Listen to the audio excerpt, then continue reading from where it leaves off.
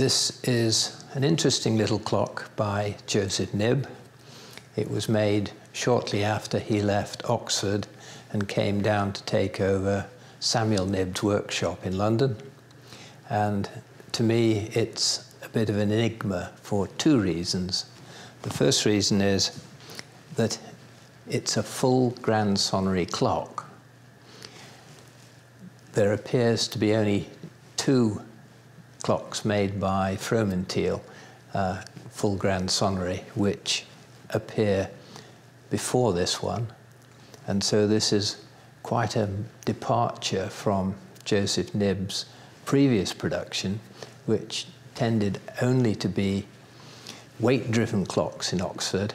He comes down, takes over Samuel's workshop, produces a few clocks, which I think were in in production in the workshop and then appears to have made this clock here.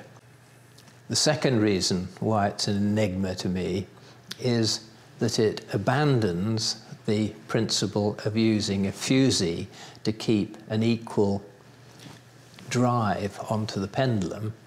Huygens tried to get over the unequal drive by having cycloidal cheeks but the drive from a spring can vary by a factor of four or five to one. Uh, when it's fully wound, it gives uh, four or five times the power than it does when it's almost run out. And so that this clock doesn't have a fusee and it doesn't um, have cycloidal cheeks on the going train. So it's a bit of an enigma and what's even worse, the same spring which drives the uh, going train also drives the quarter train. So it's an absolute nightmare. If you let it run down, the, the spring has enough energy to keep the pendulum swinging, but not to start the quarters properly.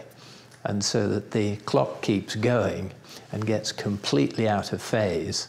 Uh, and then it's about a three hour job to get it back into phase again.